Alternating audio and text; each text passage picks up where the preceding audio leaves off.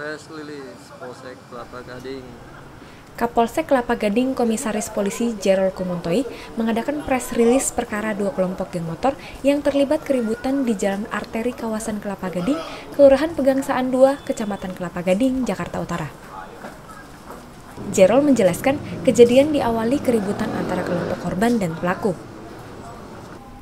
Mereka saling bersaing menggeber motor, tiba-tiba dari korban ini sengaja untuk melewati kelompok tersangka. Tim khusus Polsek Kelapa Gading dapat mengungkap para pelaku sebelum 1 kali 24 jam.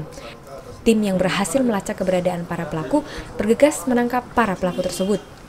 Motif balas dendamnya itu yaitu jadi kalau untuk kelompok geng motor mereka ini sebenarnya hanya sekelompok orang-orang yang sedang nongkrong. Terus setelah itu dengan adanya perselisihan mereka itu menyerbu kelompok korban. Untuk jumlah korban tersendiri ada tiga orang namun dari hasil e, pengembangan sehingga ada 480 totalnya mereka ada lima orang.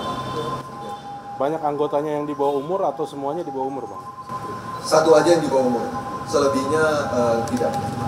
Untuk Dewasa. korban mengalami luka bacok atau? Belum sempat, namun pada saat dibacok e, sempat mengenai e, baju dari korban karena korban merasa terancam, korban langsung lari meninggalkan motornya dan motornya itu diambil oleh tersangka atas nama Main. Dari Jakarta, tim liputan Tribrata TV, salam Tribrata.